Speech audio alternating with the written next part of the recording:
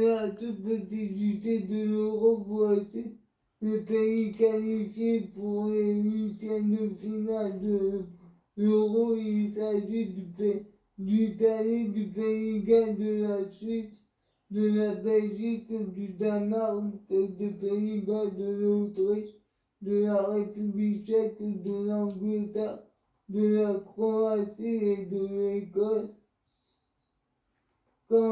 Du côté de l'Autriche, Martine Etrenberg, Interberg, Interger et un certain pour affronter l'Italie en huitième de finale. Quant à Luc de Jong, il est forfait pour les Pays-Bas pour la fin de la compétition de l'Euro. La municipalité de Munich a annoncé qu'elle décorerait plusieurs bâtiments au soutien de la communauté LGBT plus hongroise pour le match de la même place à la Hongrie.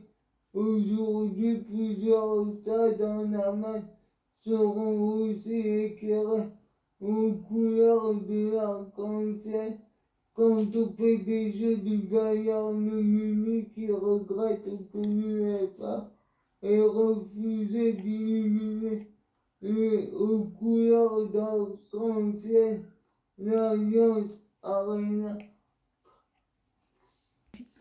On apprend aussi que des supporters danois pourraient se déplacer à Amsterdam pour affronter le Pays Galles en huitième de finale, alors que le Danemark est considéré comme un pays risque par les autorités néerlandaises, signifiant que les voyageurs doivent s'isoler dix jours après leur entrée sur le territoire néerlandais.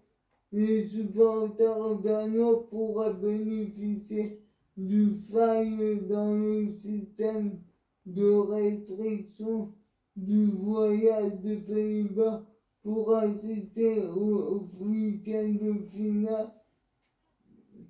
Le, le ministère, le ministre des Affaires étrangères danois a déclaré si vous n'êtes pas si vous n'êtes aux Pays-Bas que pendant 12 heures, vous êtes exempté d'isolement. Suivez-moi sur ma chaîne YouTube.